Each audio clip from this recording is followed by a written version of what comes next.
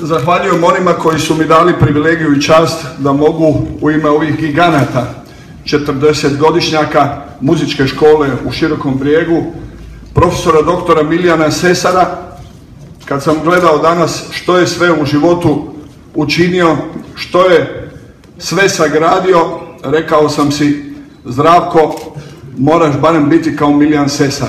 I ja obećajem vama, obećajem njemu da ću biti u životu pokušat biti Miljan Sesar i u dijelu i u onome svemu što je on učinio za našu širu zajednicu i za široki brijeg. Žao mi je što ovdje nije naš uvaženi profesor doktor Ivan Gilja. Također u ime njegovo zahvaljujem svima onima, gradonačelniku Kraljeviću, predsjedniku gradskog vijeća gospodinu Topiću i svim e, vijećnicima grada Širokog brijega koji su imali, ja bih rekao, osjećaj, želju da promičući, zahvaljujući baš nama četvero, donesu takvu odluku i od srca im hvala. Hvala im što su prepoznali naš rad, hvala im što su ovom odlukom naša daljna inspiracija da se ne umorimo, da za široki brijeg, za sve stanovnike Herceg Bosne učinimo još više. Još jedan put zahvaljujem u ime gospođe ravnateljice i muzičke škole Široki brijeg, u ime profesora doktora Milijana Sesara, u ime profesora doktora Gilje i u svoje osobno. I ispričat ćete me, ispričat ćete me što ću malo, jer ipak je ovo obraćanje i zahvala u ime svih nas, ali kad već sam dobio riječ, da malo budem osoban. Meni ovo priznanje znači jako puno.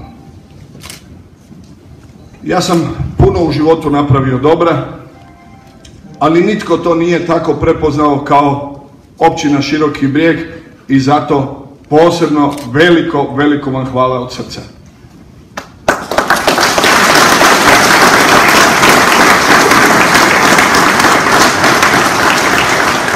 Pokušat ću vam samo reći zašto mislim da je to za mene posebno priznanje.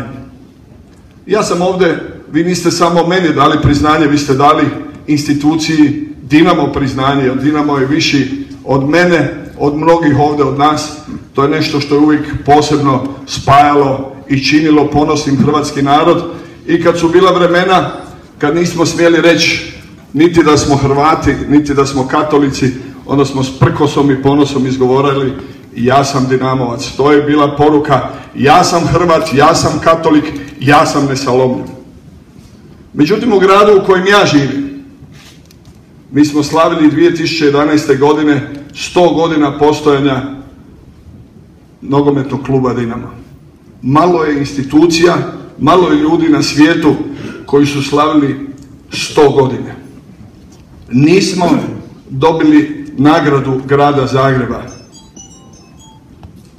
Možete se misliti koje je to, koje je to zlo, koja je to zloća da takvoj instituciji što je Dinamo, koja je simbol ne samo grada Zagreba, nego simbol svih Hrvata, da ne dodijelite nagradu grada Zagreba. Ako tada nije bio trenutak, onda ne znam kad će biti.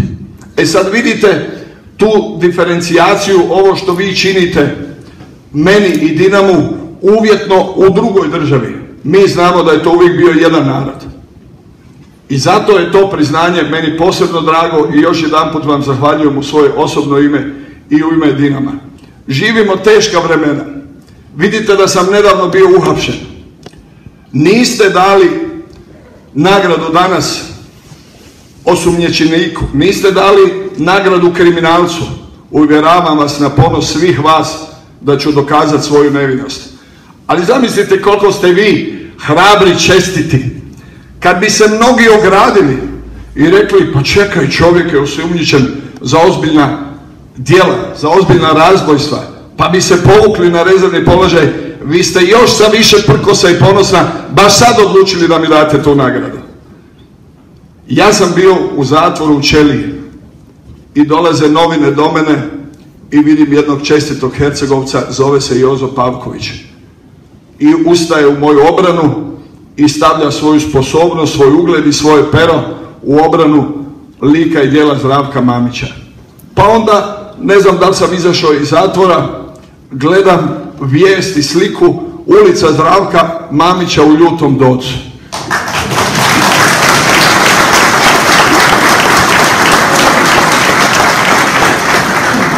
Onda evo dolazi i ova nagrada, kruna svega, nagrada i zlatna plaketa gradskog vijeća i općine Široki brijeg. Pogledajte vi te dvije stvari. Tamo ne daju Dinamo nagradu za 100 godina, tamo žele da čelnika Dinama i Dinamo zatru, a ovdje hrvatski ponosni narod kaže nećete razbojnici, mi volimo Mamića, mi volimo Dinamo, mi volimo Hrvatsku.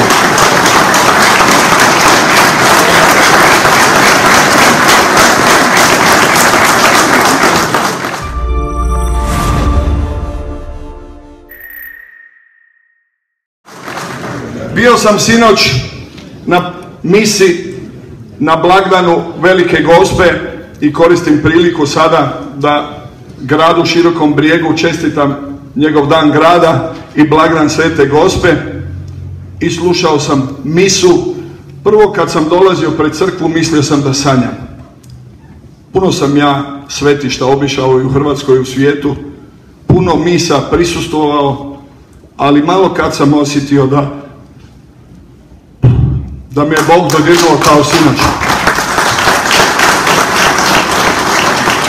Naime, bilo je toliko mladosti i shvatio sam da nitko ne može hrvatsko sjeme zatrt, jer je toliko mladosti koja je jučer deminirala, bilo je tamo starih ljudi, neka naših staraca, ali koliko mladosti, koliko hrvatske budućnosti.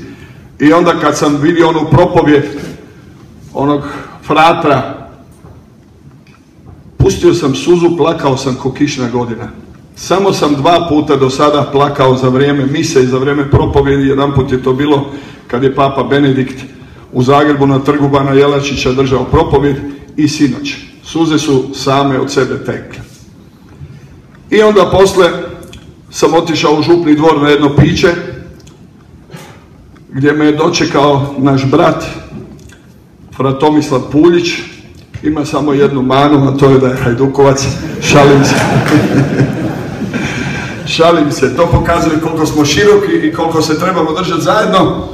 I odmah mi je sinula jedna ideja u dogovoru sa našim generalom Jelićem i sa Fratomislavom Puljićem.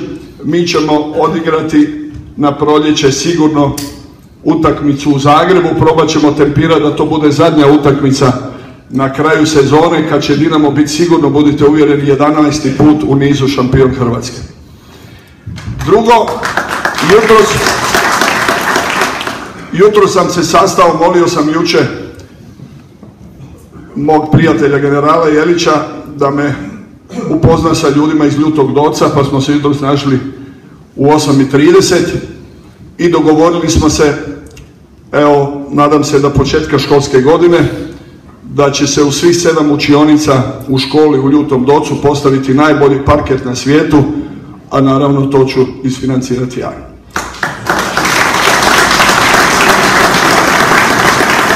Također smo se dogovorili o njima ovisi, ali nemaju pravo da zakažu najkasnije do ljeta sljedeće godine.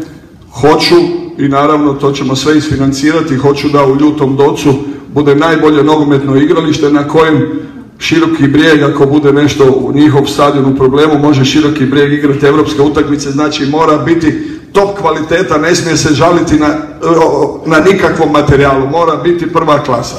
Evo, hoću reći, hoću reći da taj, taj protok ljubavi koja ide od Širokobriježana, od svih Hercegovaca u Herceg Bosni, od svih Hrvata u čitavom teritoriju Bosne. Ta ljubav najizmjenična čini, čini ta dijela koje smo danas gledali ovdje na ovim slajdovima i posebno bi čestitao građanima širokog brijega, jer ovo što sam ja vidio na ovim slajdovima, to je stvarno su velika dijela i jako mi je drago da tu dosta dominiraju sportaši, jer ja dolazim iz obitelji sportaša i vjerujte gradonačelniče, naravno da se živi od kruha, naravno da se živi od radnih mjesta, obrazovanja, ali ništa brže nije i veće za promociju grada Širokog brijega, hrvatskog naroda u Herceg Bosni i hrvatskog naroda u čitavoj Bosni, nego što to može promicati sport. I nadam se samo da će se u Hrvatskoj u dogledno vrijeme još pojaviti jedan Franjo Tuđman kojim će Hrvati u Herceg Bosni i ljudi iz Herceg Bosne biti na prvom mjestu. Nadam se da nikad više neće biti na čelu Hrvatske ljudi koji će se ograđivati od naroda u Herceg Bosni. Evo ovdje vidim moje prijatelje, moju subraću gospodina Ljubića, gospodina Čolaka i sve druge ovdje političare i neka mi ne zamjeri jedan od najuspješnijih ljudi u hrvatskom političkom životu župan Međimurski gospodin Posavec koji dolazi sa koalicijskog potencijala lijeve strane. Ljudi, svi koji nemate hrvatsko državljanstvo drugo, uzmite ga. Kucnuo je čas. Moramo izaći kao jedan na ove izbore. Nemojmo više dozvoliti da sudbinu nas građana Hrvatske, nas građana Hrvata u Herceg Bosni, u Bosni, da kroji neko drugo. Dođite svi do jedan na hrvatska birališta i dajte glas, pa znate kome.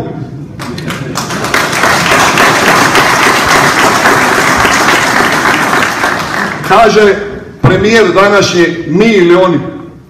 Pa ko ste to mi? Pa ko si ti to mi? Ko ti daje pravo da ti uzimaš da si ti mi, a da smo svi mi oni? E pa sad izađemo, pokažemo ko smo to mi. I druga stvar, zadnja stvar, kad sam spomenuo gospodina Ljubića, gospodina Čolaka i sve druge predstavnike našeg naroda, političari koji odgovaraju za nas, nemojte se dijeliti. Kažu ljudi da je različitost bogatstva. Ali nemojte nikad dozvoliti, pretvorite se samo u jednu stranku. Hrvatsku stranku Herceg Bosne, Hrvatsku stranku hrvatskog naroda u Bosni, jer samo tako ćemo ispuniti ciljeve koje je danas artikulirao ovdje gospodin Čolak. Samo tako ćemo konačno napraviti da hrvatski narod bude ono što je jedino normalno, da bude jedan od tri ravnopravna naroda ove nam države u kojoj se nalazimo. Bog živio s vama, Bog vas blagoslovio i neka vam uvijek nad vama bude zagovor gospel širokog brijega. Hvala vam puno.